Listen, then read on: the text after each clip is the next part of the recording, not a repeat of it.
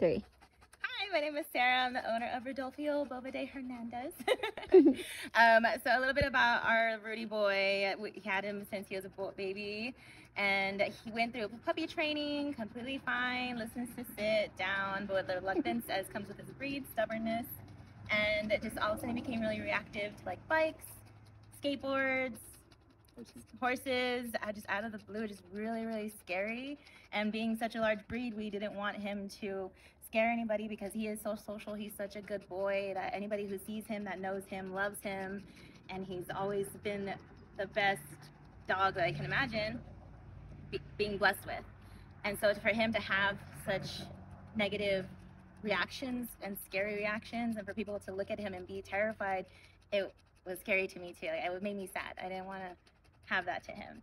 So I think Andrew went and sent him off two weeks without talking to me. but I think it genuinely was the best experience.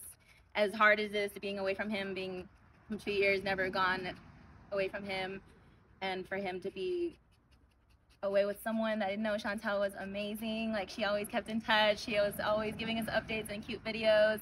I love the connection with Instagram, being able to check in on my daily posts and looking at him having the best time of his life. A little scared that he actually was happier here.